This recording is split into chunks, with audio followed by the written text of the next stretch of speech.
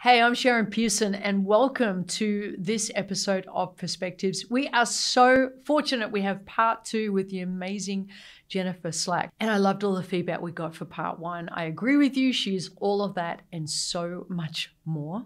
What an incredible human being. And just soaking up her views of the world and of herself and of raising a family and of her therapy work is so instrumental in how the people around her start thinking about their own lives and how they interact with themselves, with the people in their lives, and the world around them. I think one of the other gifts that Jennifer brings is the ability to help people see the world kinder and to soften the edges. I think, yeah, I think I've put that, I'm underselling her a little bit here, but she has the ability just by being around her to help people have perspective uh, and see things accurately and a little more kindly than perhaps they would have if they hadn't had that time with her. I remember one day um, we were meant to be catching up and I couldn't reach her. And it turns out she'd just been sitting with one of her sons for hours, brainstorming with him a challenge he was facing. And she was simply, dis- not simply, she was discussing his values and how to bring his values to the fore in making this decision. She didn't make the decision for him. He made the decision that was appropriate to him, where he was developmentally, where he was in terms of what he wanted to experience, how much risk he wanted to take, how much challenge he wanted to face, what his values were, and what that would mean would be presenting itself for him as a path forward. That's what she does.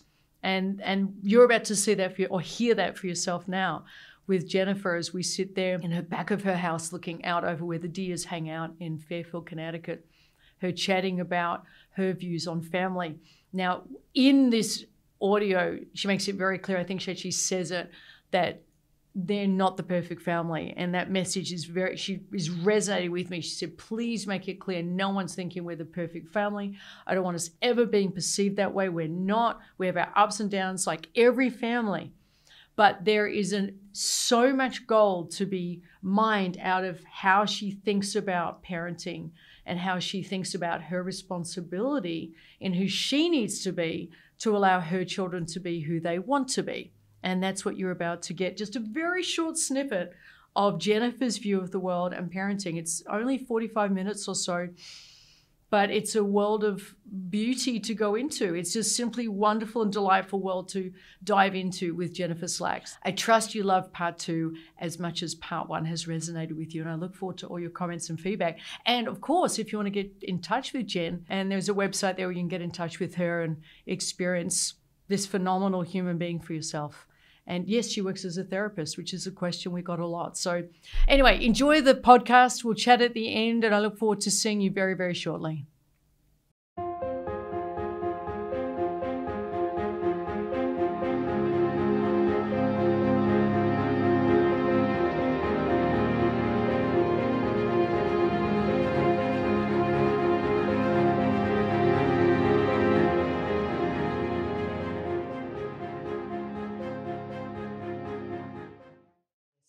Now, let's speak to uh, being human, making mistakes, having flaws, um, being in the session as the therapist or the coach and not knowing, and how delightful that is. Can you speak to that in your own way? Yeah, well, talk about in the beginning. not delightful. that was, yeah. I think I spent the better and i love sharing people are you know student early in their learning students are delighted to hear me say this um, i think i spent a good part of my internship thinking oh wow what i really got into the wrong profession i've just got to yeah. finish up the degree because it would be too embarrassing to pull out but i just couldn't it was so fraught and difficult and, yeah. and for me um, and so not knowing where I was going was felt like a pervasive experience yes. with the occasional, okay, that was pretty good, or mm. the imposter syndrome yeah. following me, following me around. Now, I think it is delightful in large, most of the time, mm. in large part because uh, it has been incorporated into my philosophy, exactly. which is it's it's not only okay that we don't have all the answers it's really important yeah. we have to match our clients in terms of pacing in terms of tone mm. in terms of you know, in, in, in just in terms of that, to me, that's largely connection.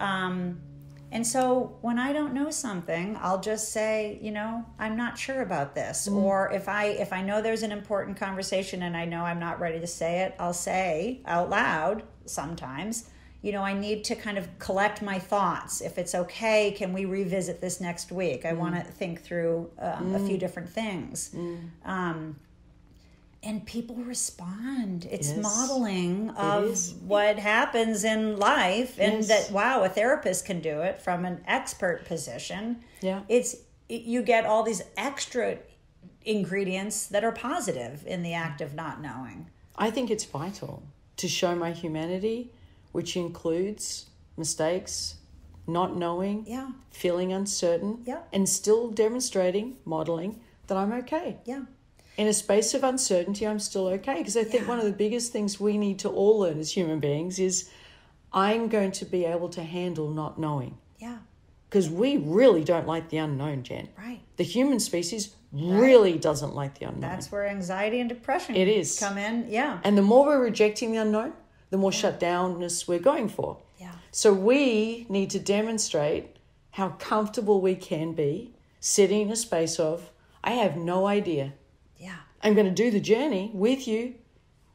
I just have no idea how we're going to do it. Yeah. I would say those words nearly every session. I have no idea. Shall we find out together? And I have made loads of mistakes, more mm. mistakes than I could could possibly remember. And I will say to clients, mm. that was a therapy mistake. Yes. and so yeah. Um, most of the time there it. are opportunities to do repair work. I yeah. mean, we, you know, one guarantee is we hurt each other and we blunder and we step but we can go back and repair and yeah. knit together and be stronger for it. So, it, a relationship like any other, we have a wonderful opportunity to yeah. model that and experience that with clients. Yeah. And sometimes a therapy mistake might be the end of a relation, a therapy relationship. Mm. Um, it, it doesn't happen very often but then i think there's a commitment to taking that regret that learning and mm. using it to deepen your mm. practice and paying it forward that mm. you're mm. more aware for the the next people how to do certain things differently yeah. that it, it never just needs to sit in a lump of regret mm.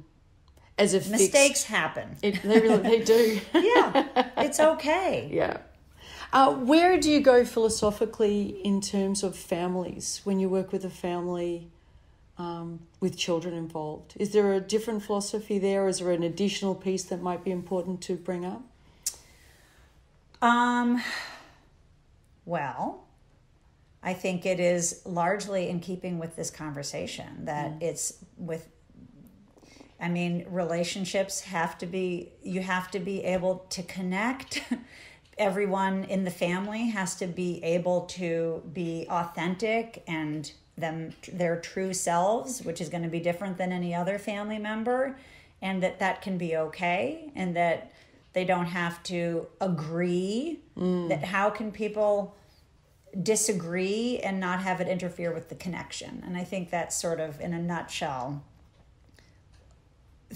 it all sort of comes back to that when it comes to families so you, couples relations and parents with kids like it's okay that you disagree let's just get that out there you know how where i'm heading with deal this. with the disagreement yeah. is what matters how that gets embedded yeah. in your patterns of relating with each other because i'm i'm hedging into boundaries here because you are the boundary queen I was dubbed that. Yeah, yes. it's the formal title you've been given by a number of people. So I just I wanted to start bringing in the work you do with. And thank than... you, structural family therapy, for yes, that. Yes, So who did you draw on? Well, you you had boundaries before you had that, so true. But it gave you the articulation of who yeah. what you had instinctively. Yeah. Well, and I think I had the very good fortune of living across the street with a woman who was sort of a second mm. mother yeah. and is now a friend and a mother, and yeah. she's a wonderful family therapist, yes. Kaethe Weingarten. So yeah. I have learned implicitly a lot of this stuff just before I had any words or language from yes. the from the age of ten. That's fantastic. So I want to give her some cred here because, and so she, knowing all about boundaries, just modeled that for me and interacted with me along those lines. Um, and my parents also Mm. were deeply respectful Mm-hmm. about my autonomy. Yeah. Um, and so now I've forgotten where. Well, I just want to just dive into, with no particular outcome in mind, your philosophy around boundaries, the role they play in your life and in your role as a therapist, because they're central, Jen, to who you are. Your values, your boundaries, your standards for yourself and the people who you relate with, and what you expect of relationships. It's phenomenal. You, that needs that's part of how you do what you do. So I think it's about being aware of how we're feeling. It starts with our own individual awareness and giving ourselves permission to be aware of how we're feeling. And it's okay. We might be feeling uncomfortable. What's going on? Let's run the radar scan. Okay. Yes, I'm feeling anxious about something or nervous or excited or, and then uh, you know it, it can be um, it's as important to catch it on the excitement end of it so that we are kind of managing our energy that we're not that, that we're as it can be on the distressed end of things So, how do you mean? Bring that to life. um, I think emotional regulation uh, is we um, we without awareness of how we're feeling, it can be very hard to come back to a regulated state Yes. and that can be you know under par or over par Yeah. but if what we're if we're making an investment or we care about connecting with another person mm.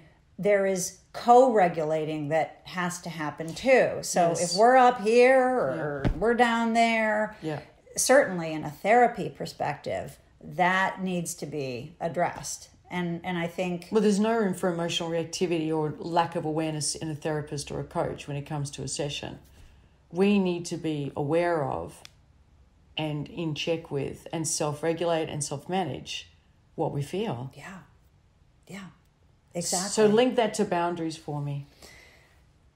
To me that is it's you being aware of your individual system which of course is connected with other systems including the person you're sitting with but it's you being able to take stock of what's going on for you. Mm. And when if you're feeling angry that's a signal system of a mm. real or perceived violation of some kind something's being asked of you or tasked of you that you're not okay with or you're mm. perceiving that that there is a mandate in there somewhere that's not mm. feeling fair or i mean these are anger gets such a bad rap Oh, it does. it's such an important, important. cool emotion yeah. and if we're so afraid of anger mm. Women are. Many women, are so women afraid of anger. and and men are too and um and kids are Yes. and Don't you raise your voice at me. How dare you speak to me like that? Go Oh, to your room. Yeah. We You're gonna use that kids. tone? Go- gotta go to your room? We sit with we sit with our kids in every other ema- in every other emotion, Mm. and with anger we banish them. That's when they need regulating the most, Yeah. and they need to be. It needs to be unpacked. What's going on for you, honey? What's you know what made what's making you feel like this? Let me know. This is good to know. Here's the other thing that I think we confuse all the time. And it does come down to boundaries and connection and authenticity. We make the mistake of conflating listening with agreeing. Yes. So How did we get there? it's so true. people, you see this with Yes. couples, Yeah. and you see it with parents and I'm tempted to say adolescents, Yeah. but parents and kids of all ages, where people um, attempt a boundary maneuver by doing some nonverbal or verbal rejecting of what the other person is saying instead of um, listening.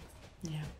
And the thing is, people don't realize it. So, just that little piece of what we call psychoeducation is so liberating that people, for people to realize by listening, I'm not actually threatening my own boundaries. Yeah. And I'm not telling you you're right. It just means I can stay in connection with you through this very difficult um, content that we disagree around. Let's do a role play around that. So I'm going to be, I'm going to say something about how I'm angry with you. And let's role play so people can literally see how you do it, because how you do it is beautiful. I really feel you let me down with blah de blah. I'm really pissed off. I'm so glad you're telling me that. Yeah. Tell me more. Please tell me what I did. I really want to know what your experience has been, and I am so sorry. Mm. We'll go one more step. Well, you bloody blood, and then you didn't. You said you'd bloody blow, and I didn't. I don't feel you did that. I'm really. I'm. Why didn't you do that? Okay, first of all, that must have hurt so much. I can really understand why you're upset with me and why you were hurt hmm. and why you felt let down. And I am so sorry. And I am so glad you were telling me this. Yeah. I really, really care about you and our relationship. And and then we move into doing the actual repair right there. It's really mm. simple. Yeah. So let's do the next step because I love the next step where it's the reach out. Well, how shall we? And because you and I had a moment of this years ago Yeah. when we had your stuff bound, no, my stuff bounced into your stuff. Yeah, it was your stuff first. It was definitely about, I really, that was all me. JK. Just kidding.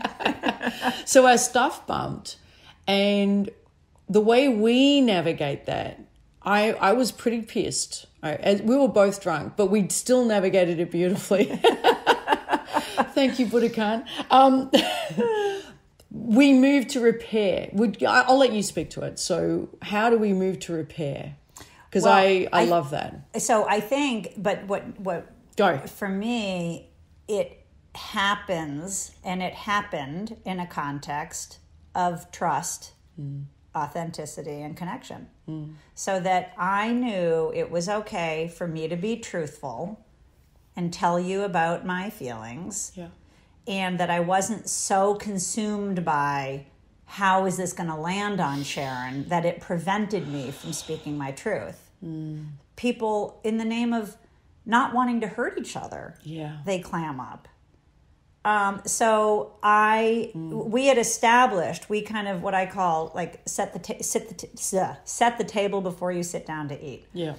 we set the table and then we were able to get into it. Hmm. And it was so affirmed and couched in we're doing this because we care about our relationship that it was just going to be productive expression of disagreement or anger or whatever came up it's productive I- i mean these feelings are they're not just okay they're essential They're inevitable. to human growth, relational growth. We're only comfortable from neutral to positive. We're not comfortable with the full spectrum of neutral down How to could our stuff in 18 years, if we're doing a real relationship, not bump every now and again? Exactly. I mean, It is stuff. inevitability. And you, you really, you bring a lot of stuff, so I have to. Exactly. no, I'm kidding. Well, what I'm saying when you know people experience perpetual dissatisfaction in relationships, I'm like, well, what about your relationship with yourself? Your stuff bumps up against your own stuff sometimes. So imagine having that not happen mm. in an existing relationship with another person. It's inconceivable. Yeah. And if it's not happening, there isn't that much depth in the relationship. Well, that's the beautiful thing. It's so one of the pieces to that that I want to add that we do and that is so effective that I do in my my inner circle and you do in your inner circle is then we negotiate. And that, and that sounds like such a hard word, but I know what we do and what I do and what you do in all our relationships that are close to us. It's well, how how should we do this next time? Or Yes. literally You say the come words up with rules of engagement Yeah. for heading forward. So out loud. I need space. I'll do this. Well, okay. if I say and this, I mean for me to give you the space, then I'm going to need to hear this, Yeah. and then we figure it out. And here's the beauty of it: the research shows the pro- it's not solve solving the problem. I'm like I can't I can barely remember the content No, now. I don't. I I do just remember, remember the the- process Yeah. around it Same. and our relational growth. That was what felt so warm Mm. and exciting Yeah. and affirming. And that's how it goes. Problems don't have to be solved, they have to be dealt with and respected and aired. Yeah. The problems go away. Mm. Or if they don't, we can live with problems. We can live with perpetual disagreement. Yep. In Yes. marriage with kids, because guess what? Life sucks a lot of the time. Yeah. You know what? And you, it, but it doesn't have to interfere with your connection. Another big part of how that's done, we do it, however we want to language that, is we talk about this a lot the non defensive nature of communication. Hmm.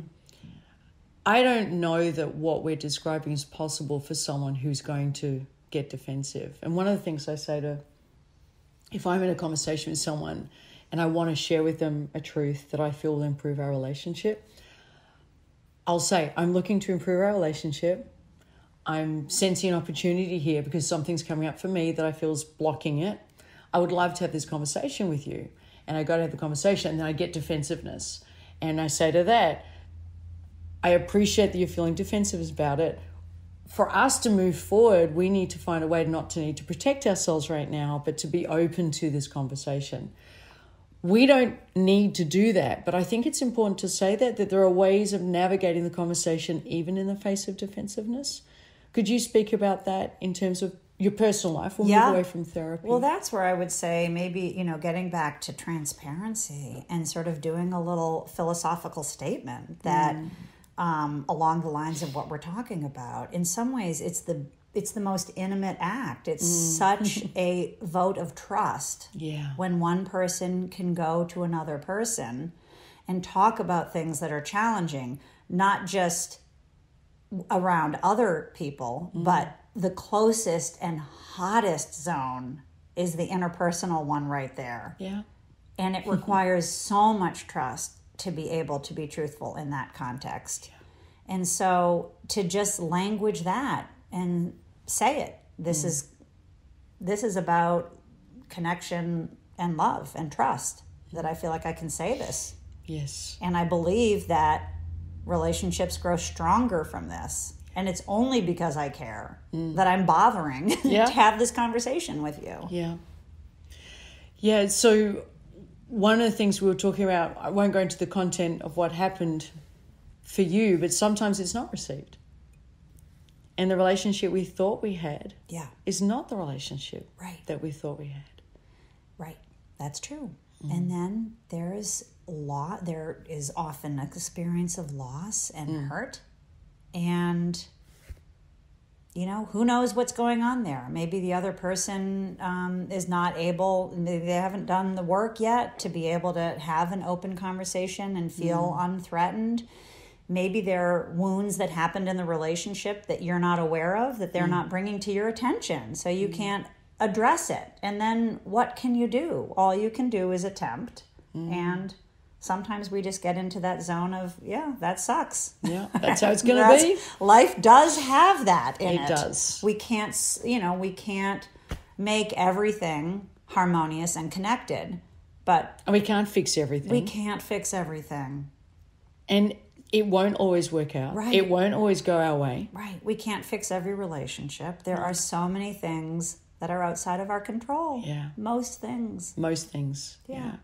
When it comes to let's move into relationship with family. You have three children. Mm-hmm. And whenever i'm on stage i say i know one person one family who's raised their children.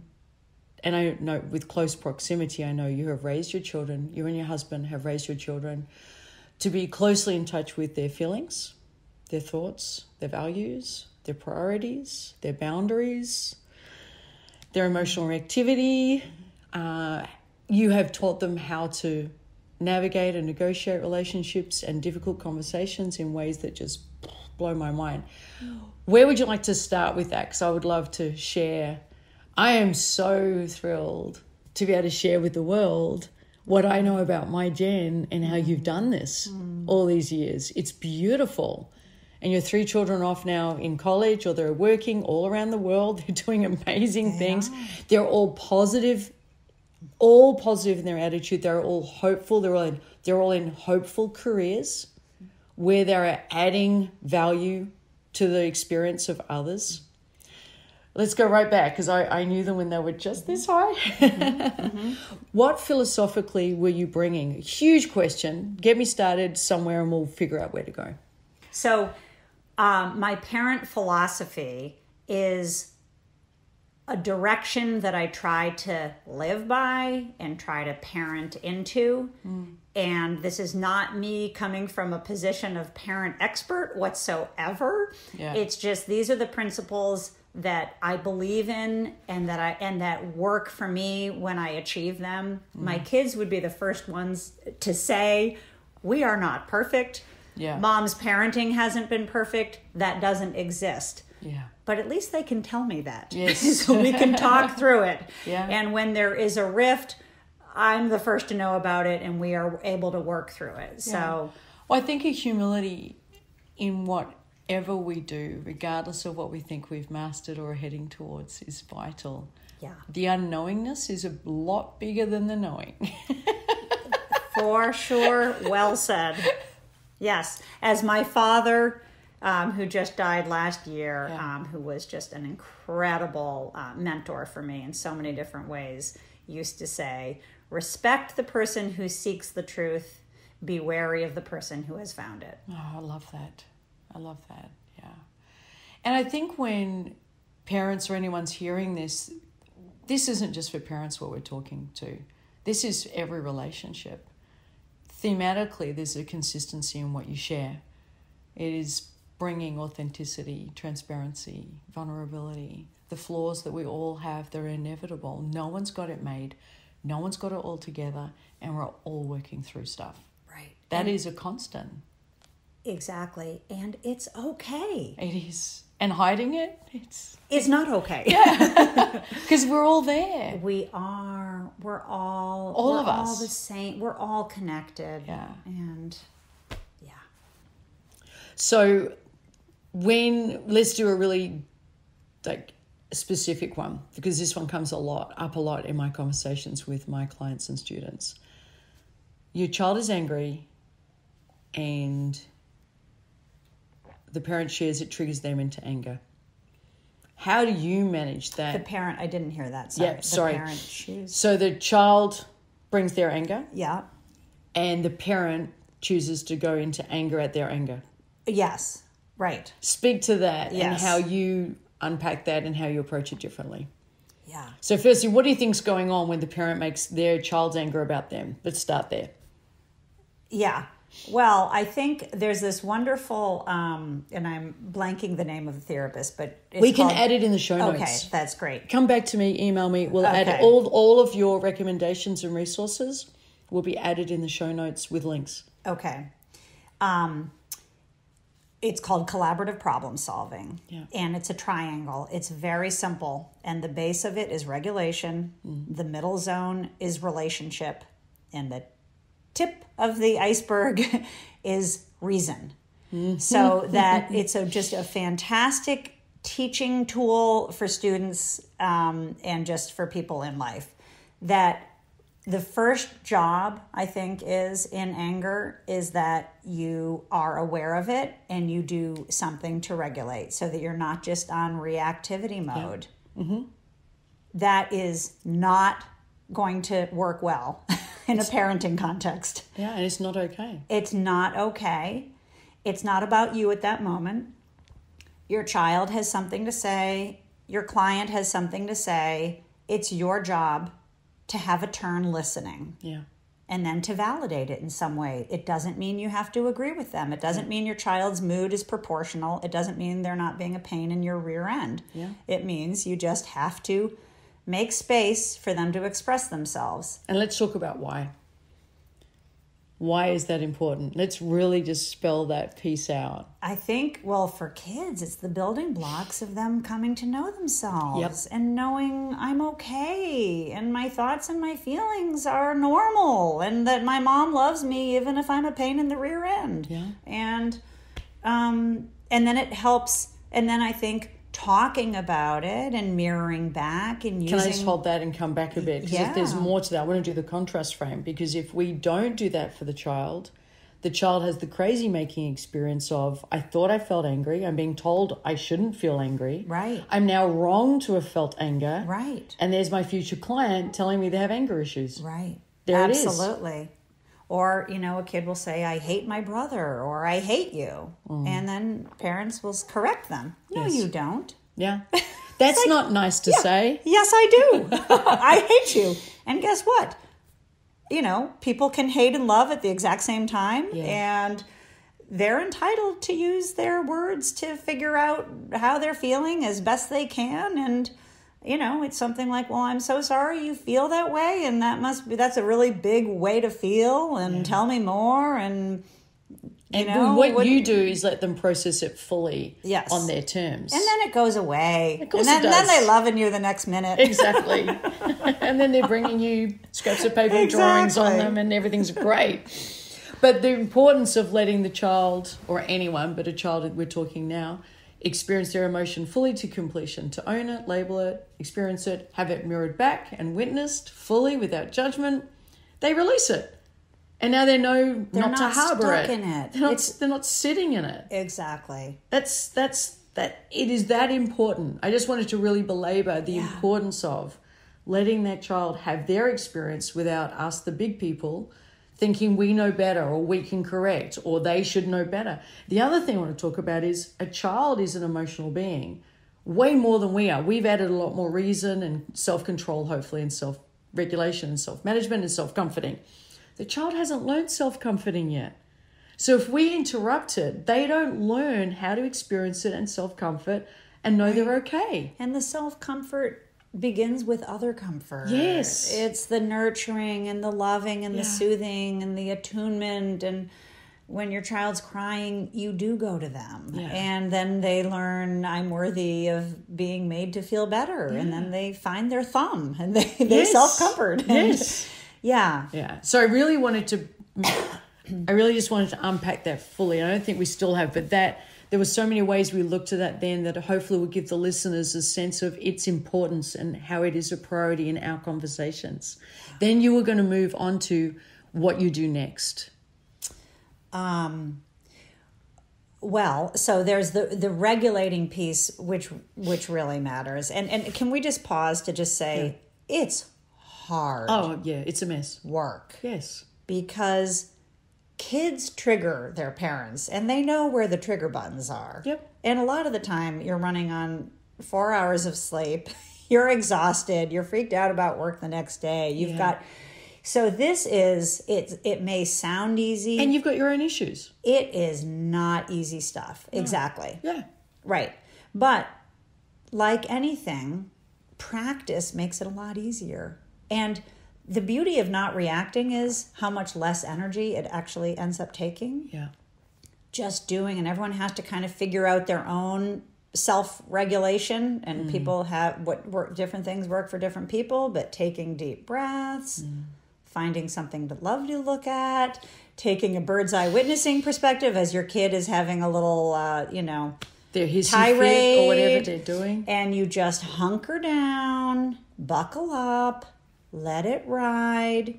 You know, so it's hard, but it's it's doable. It's Yeah. it's just it's a skill. It's it's a skill that people Well, it's hard. Can learn. Except if we don't do it. then it becomes really, really hard. Exactly. You think this is hard? Trying not doing it and having a lifetime of not having your Right. child being able to self regulate. I mean, there are more effective immediate controls, very true. like hitting your kid, Sending them away. locking them up, Yeah. doing something like that in their bedroom or sending them away, which does not mean I agree with you. Mm. It does mean it's okay for you to express yourself and I can take it.